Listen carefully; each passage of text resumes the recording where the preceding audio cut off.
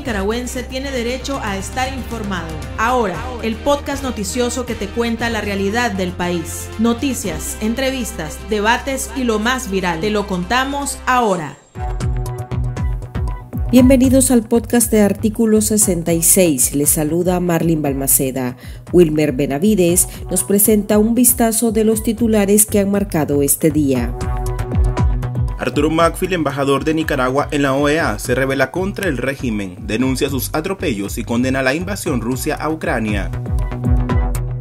Luis Almagro ofrece protección a Arturo Macfield tras la denuncia pública contra la dictadura de Nicaragua régimen de Ortega intenta desacreditar a Maxfield y lo aparta del puesto de facto al tiempo que manda a borrar todas las noticias sobre él en su principal medio digital.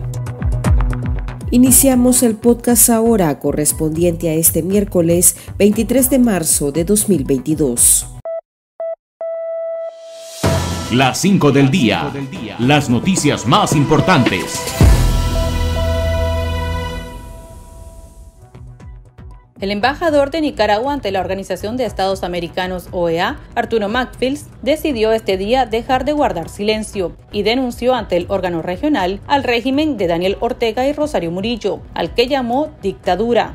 Macfields aprovechó la reunión del organismo para emitir una declaración de protesta con la que estaría apartándose del cargo dijo que, aún con miedo, hablaría en nombre de los presos políticos, las personas que han perdido la vida desde 2018 y los servidores públicos, tanto civiles como militares, obligados a fingir, a llenar plazas y repetir consignas para no perder su empleo.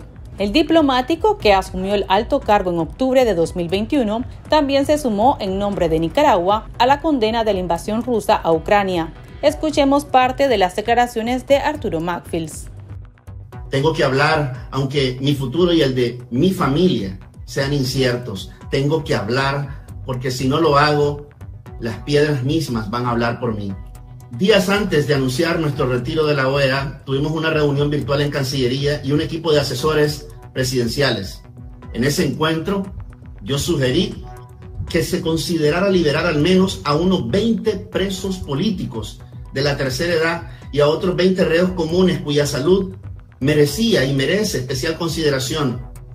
Esto sería, les dije, algo humanitario y políticamente inteligente, ya que nadie debe morir en la cárcel, y menos siendo inocente o por falta de atención médica adecuada o no tener atención médica del todo. Nadie me hizo caso, señor presidente. En ese momento se me dijo, no vamos ni a tomar nota de ese comentario, porque vos sabés lo que puede pasar y recordar a la derecha, entre más se le da, más quiere. En el gobierno nadie, nadie escucha y nadie habla. Lo intenté varias veces, durante varios meses, pero todas las puertas se me cerraron. Señor presidente, para terminar, quiero decir que aunque pareciera que todo está perdido y que el panorama está nublado como este día de hoy, yo creo firmemente como se lo he dicho al secretario Almagro, que hay esperanza. Y se lo he dicho a mucha gente, creo que hay esperanza. Quiero decirles que la gente de adentro del gobierno y la gente de afuera está cansada, cansada de la dictadura y de sus acciones. Y cada vez van a ser más los que digan basta. Porque la luz, la luz siempre puede más que las tinieblas. Porque el amor es más fuerte que el odio. Porque se puede engañar a la gente por un tiempo, pero no todo el tiempo. Dios a veces tarda, pero nunca, nunca, señor presidente, Dios nunca olvida. El secretario general de la OEA, Luis Almagro, felicitó a Macfields por su coraje y compromiso con los valores de la OEA y le habría ofrecido protección. A través de un tuit publicó que esa es la posición éticamente correcta. Durante la plenaria, representantes de distintos países en la OEA también respaldaron a Arturo Macfields, Escuchemos las palabras de los embajadores de Uruguay, Estados Unidos, Canadá, Costa Rica y Panamá.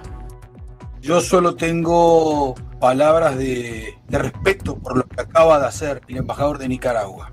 Cuando pasan estas cosas y cuando se suscitan estos acontecimientos de manera impactante, lo que tenemos que hacer es solidarios, comprometidos, honestos, sinceros, frontales, trabajadores, activos, extendiendo la mano a quien toma un acto histórico como el que está haciendo el embajador de Nicaragua. Apenas quisiera manifestar mi felicitación al mi amigo y colega Arturo McFields por su valerosa postura. Sé que él es un patriota nicaragüense, sé o sospecho que ha dudado entre su patriotismo y sus opiniones sobre la importancia de sostener la democracia y los derechos humanos en su propio país. Me parece que ha hecho, ha optado por la vía correcta. Mis palabras de esta mañana son palabras de apoyo, de apoyo a él, pero también son palabras de respaldo a otros activistas de derechos humanos en Nicaragua y otros que han estado luchando valerosamente por convencer al gobierno de Nicaragua de la necesidad de hacer estos cambios por, en beneficio del pueblo de ese país. Arturo, usted tiene mi admiración. Embajador McFields, le agradecemos levantar la voz en nombre de sus connacionales, de tantos presos políticos tantas personas activistas de los derechos humanos que en este momento están sufriendo arbitrariedades y violaciones a los derechos humanos por parte del régimen en su país. Estamos respaldando con esto la institucionalidad democrática, la libertad de expresión. Embajador, estamos con usted. Le deseamos bienestar a usted y a su familia. Tomo muy brevemente la palabra como panameña, quisiera expresarle mi afecto, mi aprecio y la solidaridad a Arturo, a su familia, con los mejores deseos de bienestar, de seguridad para usted y su familia. La vocera del régimen Rosario Murillo guardó silencio luego de la confesión y denuncia que hiciera el embajador de Nicaragua ante la OEA, Arturo Macfield, a pesar de que todos los días emite un extenso monólogo en los medios afines. El régimen prefirió publicar un escueto comunicado a través de la Cancillería señalando que las declaraciones de Macfield no tienen validez porque no los representa. En un intento por desacreditar la postura del diplomático, la Cancillería indicó que la persona debidamente acreditada ante el organismo es Francisco Campbell Hooker, quien es el actual embajador de Nicaragua en los Estados Unidos y hermano del magistrado electoral Lumberto Campbell. Tras la denuncia pública del embajador Arturo Macfield, el Observatorio Independiente Urnas Abiertas manifestó que los funcionarios también han sido de las principales víctimas que se han visto obligadas a ejercer su voto a favor de Ortega. El partido político ilegalizado Ciudadanos por la Libertad dijo por su parte que Arturo fue valiente y se colocó al lado de la verdad. La presidenta de su organización, Kitty Monterrey, añadió que pese al férreo control del régimen que ha convertido a todos los nicaragüenses en rehenes, hoy ve con esperanza lo que ayer parecía imposible. Por su parte, la Unión Democrática Renovadora hizo un llamado patriótico a los funcionarios para que abandonen y denuncien a la dictadura, indicando que aún es tiempo de ponerse del lado del pueblo. Escuchemos las declaraciones de Juan Diego Barberena, integrante del Consejo Político de la Unidad Nacional Azul y Blanco, en entrevista dada a Artículo 66. De hecho, en los últimos meses han habido varias renuncias. Por ejemplo, la hija de Walmaro Gutiérrez, que también presentaron su renuncia. No sabemos a qué se debió, ¿verdad? Pero ustedes creen que podrían venir también otras renuncias por parte de, diplomáticos o funcionarios, posiblemente también dentro del país.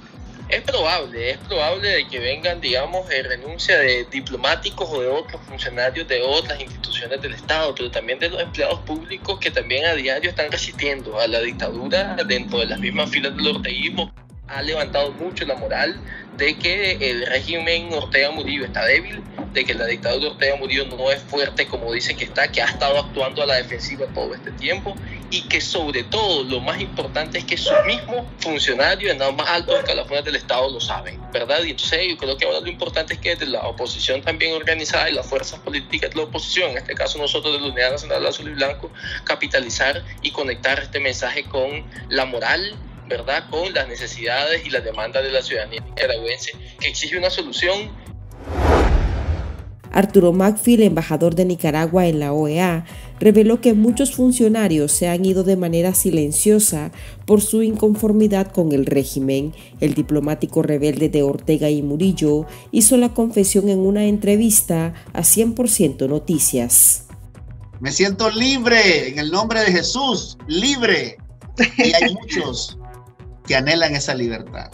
Pero como te dije, no todo mundo quiere hablar. Se están yendo por miles, calladitos. Llevo 15 días que no he podido dormir, que no hablo con nadie, con nadie, solo con mi esposa y mi hija. Pero más con mi esposa, pues porque mi hija está chiquita, pues, pero... Porque si yo hubiera abierto la boca, no solamente me pongo en peligro a mí, Lucía, pongo en peligro a todos los que me escuchen. Entonces yo no le conté de esto a nadie, una lucha espiritual. Pero Dios ha sido bueno. La gente, la mayoría de la gente me ha abierto las puertas. Como te dije, no sé qué voy a comer el día de mañana, o sea, no, no tengo el cuadro rayado, no tengo el cuadro rayado. Lo único que sé es que me siento feliz, me siento en paz. Y eso, ya con eso, poder dormir tranquilo, ¿vos sabes lo que es eso? Y que mi hija tenga un padre al que pueda mirar. Alguien me dijo, prepárate porque vamos a desplegar una campaña que se llama Matar al Mensajero. ¿Cómo es eso? Como no podemos matar tus ideas, vamos a matarte eh, moralmente a vos. Te vamos a desacreditar, vamos a decir que sos contra, que sos mercenario, que sos aquí. Pero la gente que me quiere, me conoce. Mi solidaridad con las personas que están presas no es solamente el hecho de que estén presas, porque eso todavía vos lo puedes tratar de justificar, pero el trato que ellos reciben, eso no tiene, eso cómo lo va a justificar. El caso de Tamara Dávila es el más triste. He llorado por Tamara Dávila, porque tiene una niña de la edad de Grace, de 5 años. Y, yo dije, Señor, yo tengo que hacer algo, yo tengo que hacer algo. Si tengo a mi niña aquí, no me gustaría que la separaran de mí. Los líderes europeos se reunirán este jueves y viernes en Bruselas para abordar como principal tema la guerra en Ucrania y sus consecuencias. En la cumbre de la Unión Europea estará presente el presidente de Estados Unidos, Joe Biden, e intervendrá telemáticamente el mandatario ucraniano Volodymyr Zelensky. Durante su estancia en Bruselas, Biden presionará a sus socios occidentales para aprobar un nuevo paquete de sanciones. Las Naciones Unidas subrayaron este día que la guerra en Ucrania es una crisis global, dado el impacto que está teniendo en los mercados de energía, alimentos o fertilizantes y los grandes riesgos que plantea para los países, en especial para los más pobres. El pulso. Le medimos el ritmo a la realidad.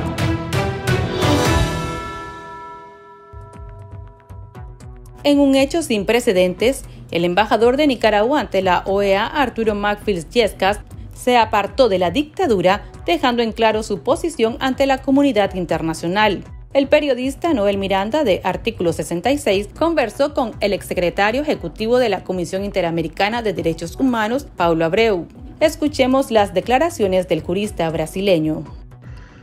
Eh, bueno, yo creo que no puede haber dudas de que la dictadura está siendo derrotada. É um processo progressivo, lento, pero que vai apuntando um, cada vez mais um isolamento, uh, uma ampliação das condenas internacionais, um distanciamento das forças progressistas verdadeiramente uh, de esquerda do mundo que não que não se identificam com regimes autoritários, o que se pode chamar de esquerda autêntica, uh, de setores organizados dentro e fora do país que estão é, mobilizando-se para, para visibilizar o estado de, de graves violações de crimes de lesa humanidade, como lo hacen as organizações da sociedade civil. E, e, e quando passa de que eh, estas ações e mensagens políticos vão empurrando é, para, para é, dinamitar, para, para pressionar a la ditadura a ceder, eh, estamos frente a la, a la possibilidade de ir eh, conquistando espaços de, de, por meio dessas distintas formas de resistência democrática. Uma das mais importantes, necessariamente, se dá por dentro do funcionalismo público. Todos nosotros sabemos, incluso aún antes de las elecciones, ¿no? que buena parte de, de ellos son rehenes de, del terror, eh, del terrorismo de Estado que promueve el régimen de Ortega y, y Murillo. Que recai não, não apenas por sobre as vítimas, por as organizações de direitos humanos, por os setores acadêmicos independentes, por os meios independentes, pero também eh, por a pressão psicológica que, que generam por sobre los, los funcionarios públicos.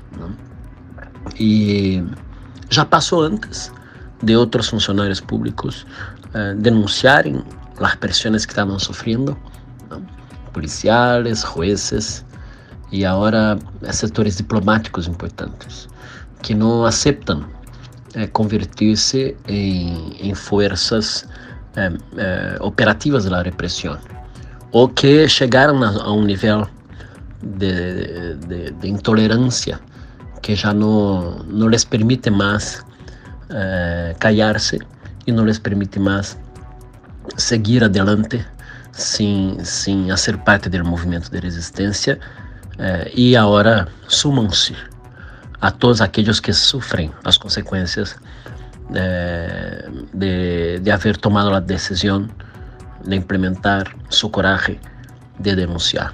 Y van a requerir también solidaridad de nuestra parte. ¿no?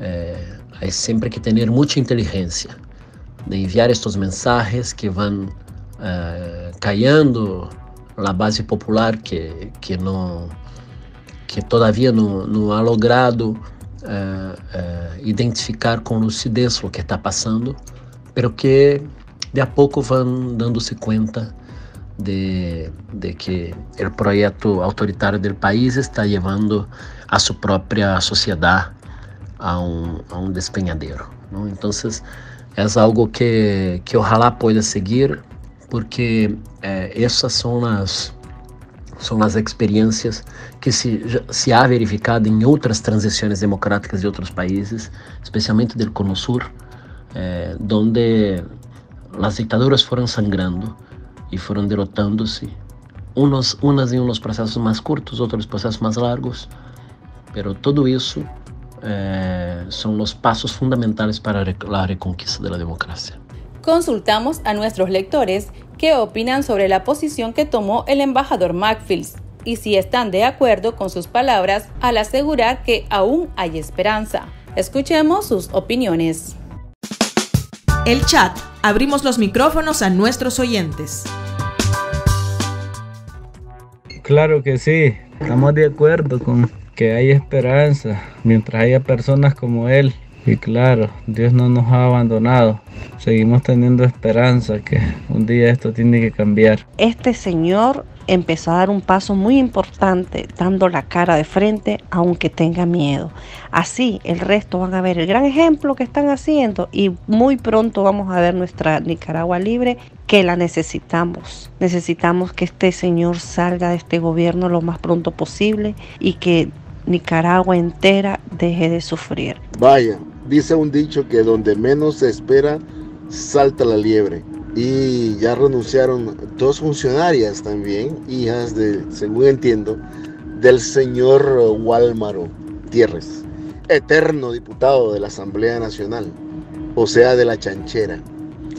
Vamos a esperar a ver si más gente se suma y que sea una ola de renuncias y que cada vez este régimen se sienta más solo y más debilitado.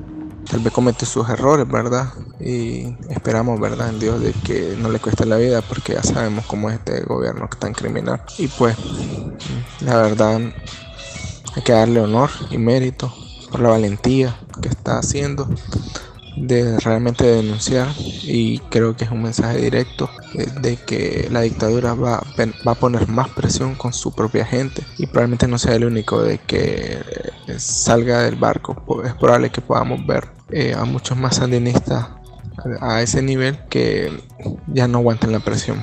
Es algo más, pues ya queremos ver a nuestra Nicaragua fuera. Ya Daniel tiene que estar convencido y Rosario Murillo de que Nicaragua va de cabeza. Estos puntos políticos ya están en la mesa de la Organización de Estado Americano y esto está llegando hasta las oficinas del presidente de los Estados Unidos para poderla extender con los derechos humanos y ver las cosas de una forma honesta y correcta. Creo que ya es suficiente, por eso creo que tenemos que sentirnos muy positivos de que Nicaragua volverá a ser república, a como lo dijo Pedro Joaquín Chamorro.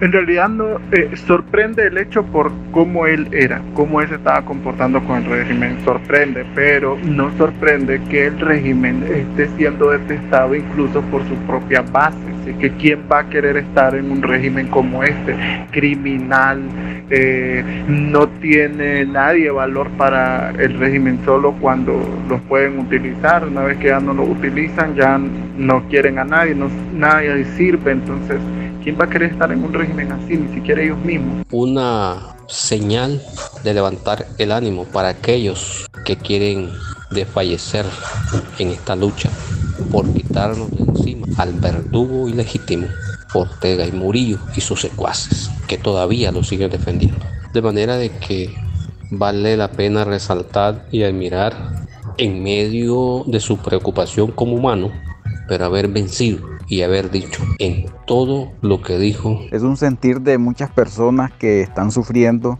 eh, la represión de frente en carne propia. Tantos pronunciamientos no ayudan no van a, no van a revivir, no van a, parar a personas que, que están en la línea, por decirlo así. Tal vez a largo plazo, se merece un buen aplauso, lo que hizo y dijo está muy bueno. Y claro, tengo miedo, pero sí calmo. Las piedras hablarán. Ahora hay que ver qué tipo de, de consecuencia irá a pasar. Pero en Dios todo lo pasará para bien. A ver, ¿Qué hace la OEA? ¿Qué hace nuestro organismo ante esta condena, ante esto que él está diciendo? Por su parte, la Unidad de Exiliados Nicaragüenses, UN, demandó a la comunidad internacional tomar la palabra del embajador Macfields y llevar a cabo acciones contundentes. Escuchemos las declaraciones dadas a artículo 66 por parte de Manuel Sandoval, coordinador de Relaciones Internacionales de la UN. UN es consciente de que estas declaraciones que las celebra y reconoce en ella la valentía de un funcionario de alto nivel del servicio diplomático del Estado de Nicaragua forman parte también del sentir de un gran número de trabajadores públicos que se sienten amenazados y amedrentados por esta dictadura que viola de manera sistemática los derechos humanos del pueblo nicaragüense. Palabras que la Organización de Estados Americanos, específicamente su Consejo Permanente, debe de tomar con la seriedad del caso, en tanto es la primera vez desde los incidentes de abril de 2018 en los que se ha tipificado las acciones del Estado de Nicaragua como crímenes de lesa humanidad que un funcionario de alto nivel del servicio diplomático del Estado de Nicaragua haya denunciado a la dictadura de Daniel Ortega y Rosario Murillo merecen una atención particular y relevante de parte del Consejo Permanente que pudiera, como instancia de la Organización de Estados Americanos, hacer nuevamente una apreciación colectiva de la situación de Nicaragua, de modo que convoque a una sesión extraordinaria de la Asamblea General donde los cancilleres de los estados activos de la Organización de las Américas estipulen y vean conveniente la aplicación de la Carta Democrática Interamericana al Estado de Nicaragua. Por consecuente, cada Estado miembro también de la OEA debe de reflexionar a lo interno y tomar medidas diplomáticas ahí donde tienen voz, voto en los organismos económicos eh, financieros de la comunidad internacional para asfixiar al régimen de Ortega. Lo que uno espera a raíz de las declaraciones del ex embajador eh, Macfield Yescas es que precisamente la comunidad internacional ahora sí tome en serio que esta postura en el momento en que se dio, en el lugar correcto, en el espacio concreto, es el escenario de un funcionario donde tuvo la oportunidad de manifestar la inconformidad que existe entre la fuerza laboral del sector público nicaragüense. Creo que es muy importante que se le dé la relevancia del caso a las declaraciones del ex embajador, porque es la oportunidad que tiene la comunidad internacional para tratar de redireccionar sus posicionamientos que hasta este momento han sido pocos infructuosos los, los buenos oficios de la OEA y que se conviertan en acciones más beligerantes. Es necesario que la OEA como principal foro del debate político de este hemisferio aplique a lo inmediato la Carta Democrática, Democrática Interamericana porque ya no solo está la versión de las víctimas, ya no solo tienen la versión de ellos como organización, sino que tienen el posicionamiento institucional, el posicionamiento de un Estado a través de un embajador debidamente acreditado y reconocido por este organismo. Para estar al tanto del acontecer nacional y conocer las voces calificadas sobre la realidad nacional, ahora el podcast informativo sobre Nicaragua.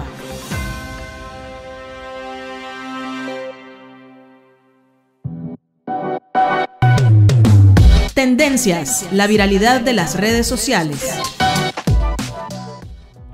El régimen de Ortega obligó a su plataforma oficialista el 19 Digital borrar todo rastro de Arturo Macfield, horas después de que el diplomático se rebelara en contra de la represión gubernamental. Las noticias sobre Macfield publicadas en ese medio fueron borradas de la web. Por otro lado, los usuarios de las redes sociales compartieron la publicación del jugador de la NBA Enes Canter Freedom, quien mostró la imagen de unos tenis decorados con caricaturas contra la dictadura de Nicaragua, acompañadas de la etiqueta SOS Nicaragua.